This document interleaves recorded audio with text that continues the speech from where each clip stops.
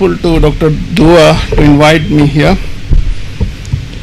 As I'm told that uh, this institute is basically of uh, MCA and MBA degree holders. So I was told to focus my talk basically in the application areas.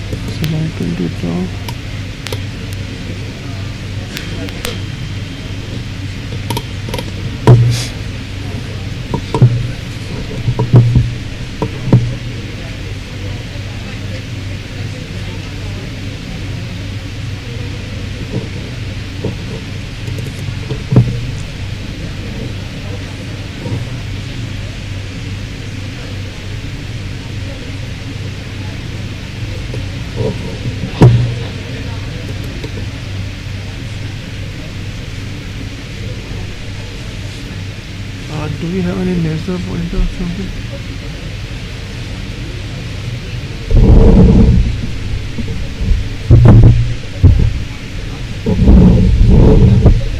And uh, I'm working at the School of Electrical Engineering, Korea University, Seoul. Korea University is uh, a very famous university in Korea. It is uh, ranked number three in Korea, South Korea, and uh, most of its products are working the top level in Samsung and LG. As you guys are very well aware of uh, those companies. So this place is actually the home of Samsung. They started their work from there and then now they are working around the world. So we have a very close collaboration with uh, Samsung and LG and uh, most of the work which we perform at Korea University is done in very close association with Samsung people or with LG people. So most of the softwares and hardware things which are completed in Korea University are transferred to Samsung. So this is my basic introduction, which is already told by the lady, and uh, I have worked in different areas, including the system on chip and network on chip, which is the upcoming area. And I also worked in image processing and computer vision.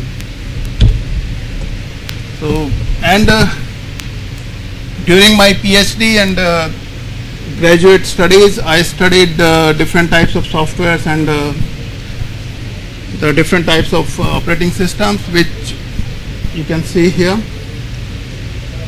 So my basic area is actually VLSI design. As you know, in every computer or any machine which you use, we put one chip. So that chip is VLSI, the IC.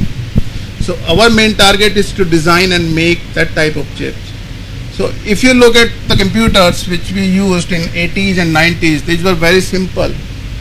We were using one microprocessor, one memory, and simple input-output devices.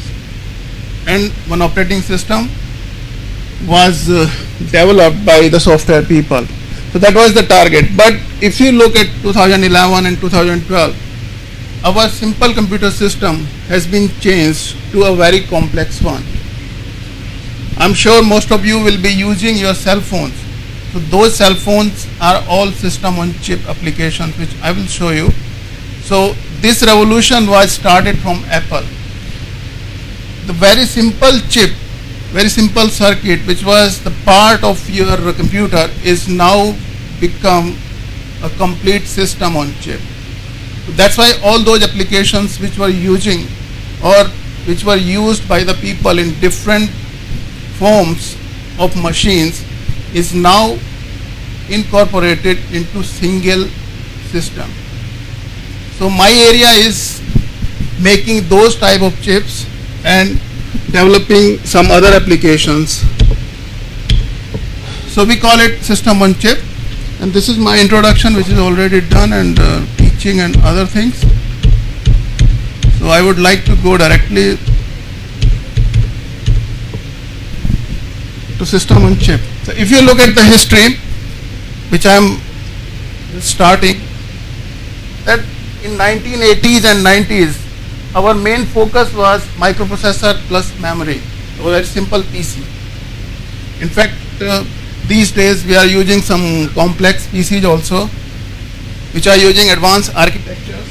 But until 2000, there was no major change in that area. But if you look, after 2000, we started making different types of applications on the single chip. If you look, you can say computation, communication, consumer electronics, content electronics, convergence electronics, different types of things incorporated.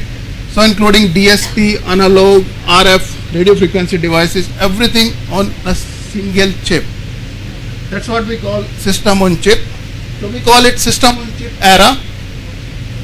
So time started somewhere in 1995 and now on we are moving for the further applications.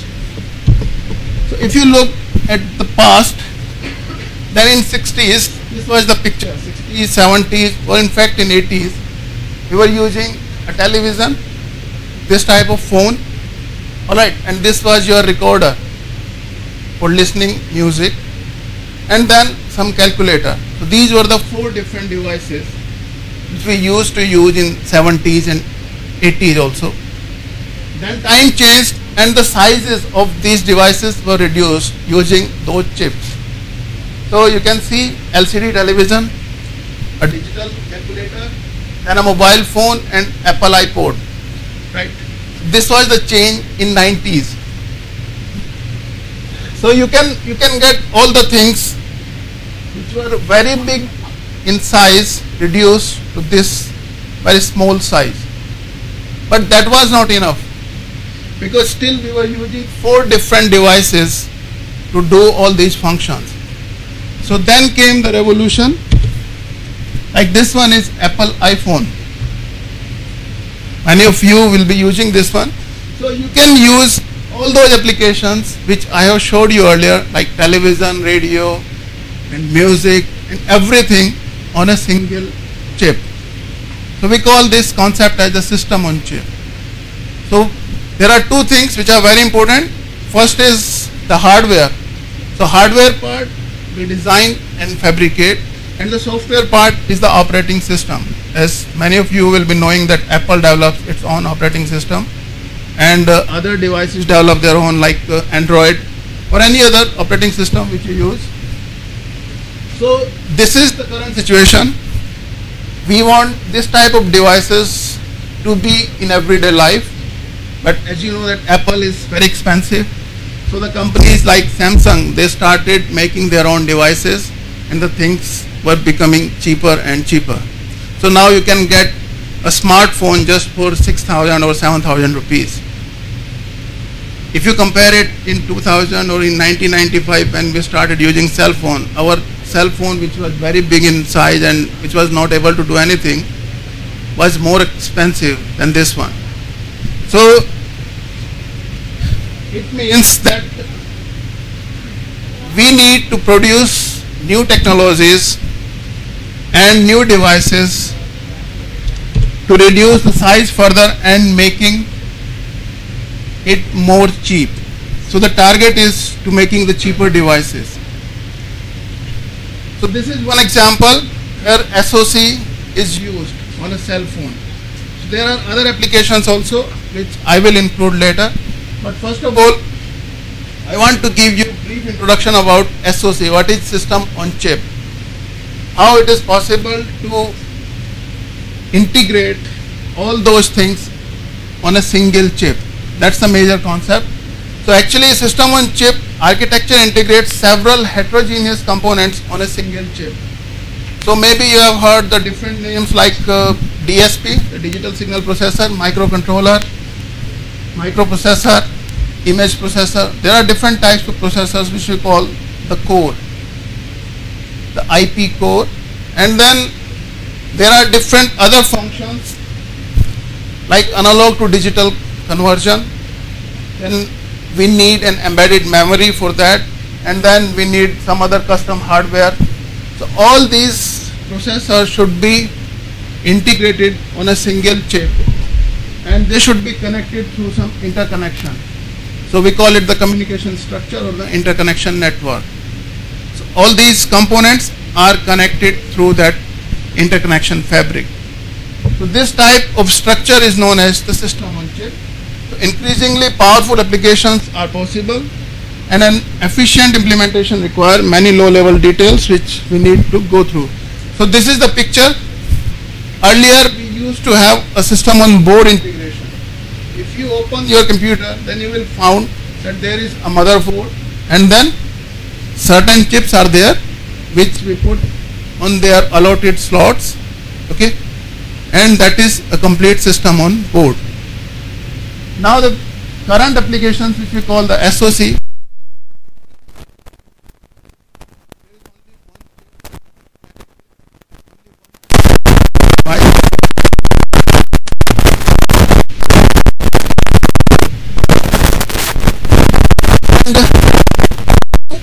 are the people you can find yourself a single it is not confined to one branch of electronics or computers. It is not confined to single branch of engineering or science. There are different types of people. There are people from areas who are working together to these applications cell phone or any other you are using many different types of apps are working to make that application possible. So you can see here software, routers, protocols, switches and applications from then the software system and the system integration from the software people and so this information appliances, PDAs, games, humanities and art people are also included then electro-optical like LCD, optical communication, storage devices. All these are the different areas. Then we have biomedical or bioinformatics or biochips. For that purpose we need biology people also. And uh, energy like batteries, cells and then communication like wireless and satellite.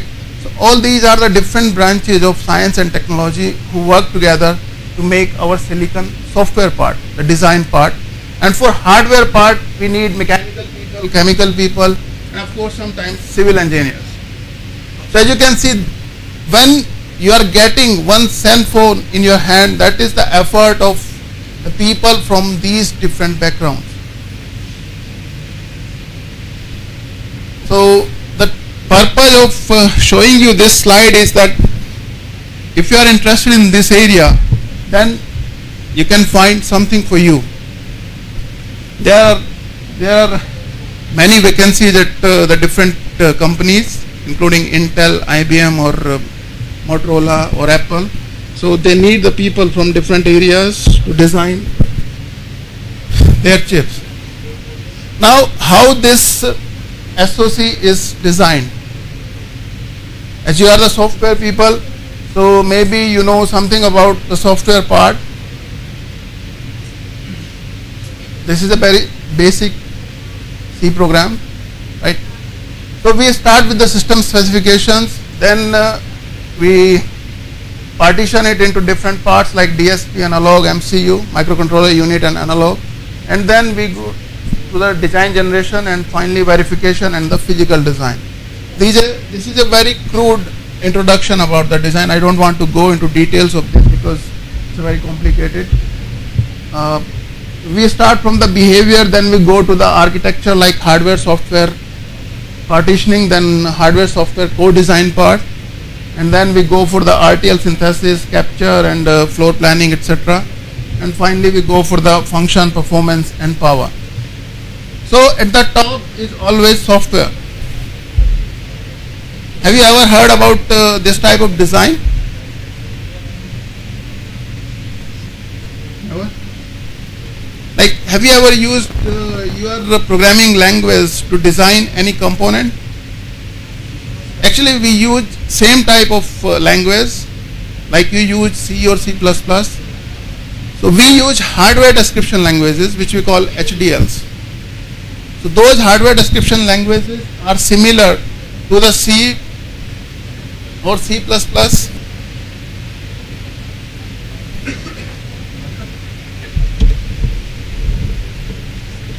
then this is the very basic 32-bit embedded processor which is uh, developed in the form of IP.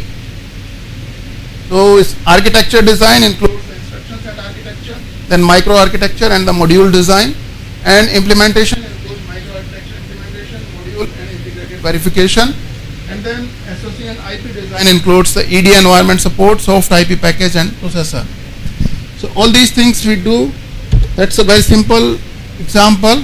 And then you can see here we need instruction set architecture for designing one processor which can be used in our system on chip applications. So we need the instruction set architecture. For that purpose we need software tool chain. Then we need the microarchitecture of that processor and module design and finally we implement it. So same way we design all the IPs and then integrate all those IPs to make that system on chip. This is a very basic picture how we design each and every IP core and then integrate those. So this is the basic idea of system on chip and uh, these are the research areas. So maybe you have heard some of these like uh, embedded software development. Maybe you have heard of these operating system like integrated developed environment, ID, instruction simulator, then compilers, assemblers, all these things we need for system on chip as well. And then on this side we need test bench, in-circuit emulator, evaluation board, then embedded systems and applications. And here we need SOC integration, hardware software co-design, verifications and other parts and this side is the basic electronics like circuit design, then algorithm implementation and other areas of basic electronics.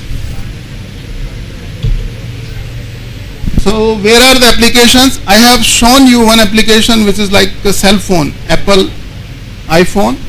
There are other applications like digital image and video applications as you can see here in all those devices these days we use system on chip. So that's why the size is reducing continuously. So all those cell phones or all these things which you can see here including television or everything now reduced to the smaller size and lesser weight. That is due to the system on chip. So our target is from the home devices to the portable one. Everybody needs portable devices which are very light in weight and they consume very less power. They are battery operated and the battery backup is very high. And you can see here in some devices we need high performance and in portable devices we need low power. So for all these applications we develop our SOCs. So image, video codecs, IPs, embedded systems, everywhere we use these system on chips.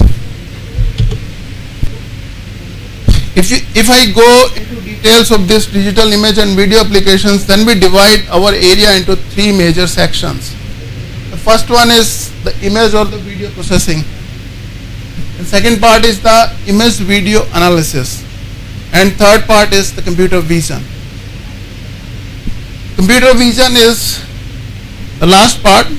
So it's like uh, taking a picture. Most of you are doing that, just taking a picture from your cell phone or from your uh, digital camera right but we the designer are concerned more than that our target is just to do the processing of that image So first of all, we do the pre-processing, then we do the post-processing, then we store the image, and then we do the analysis on that image.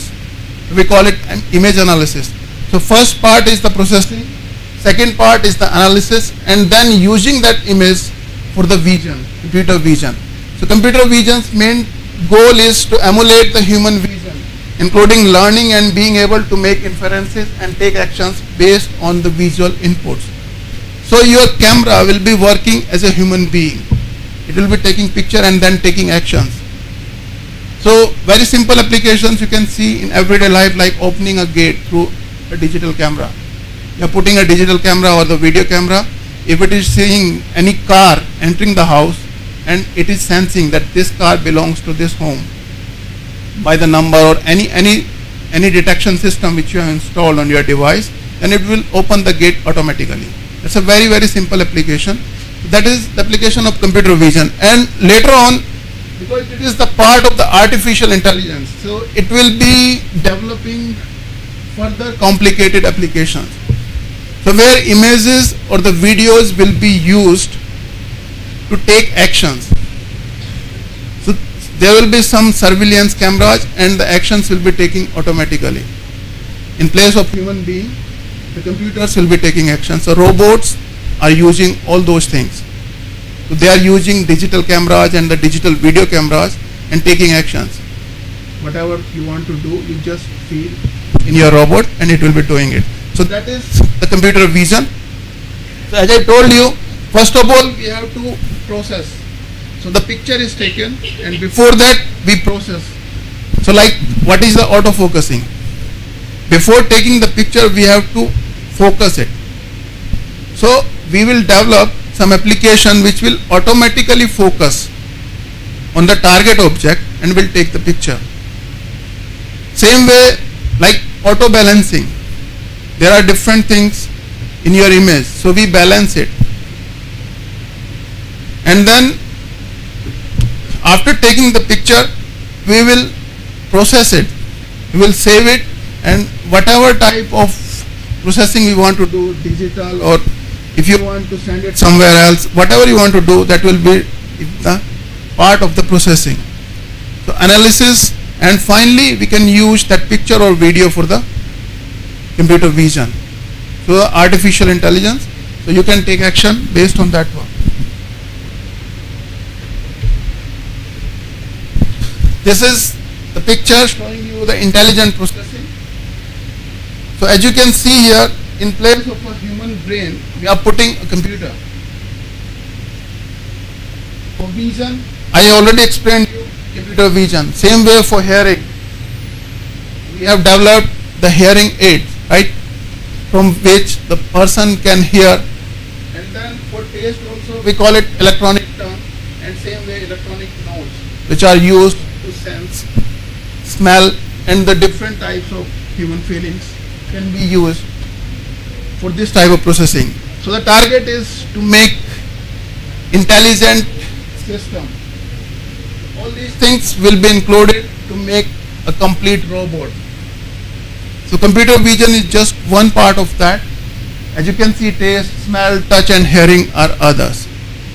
So speech recognition is another area where a lot of work is going on. Same way the lip reading. That is also very important these days. Most of the police departments use that lip reading to read the mind or the language of the criminals. So all these things are just part of our uh. And then after developing all those applications, we have to put it on a single chip. So that is one area.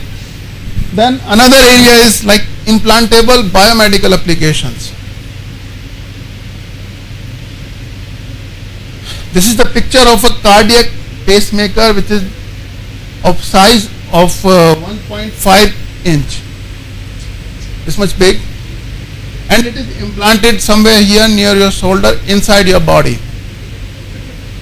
And its battery life is more than 10 years.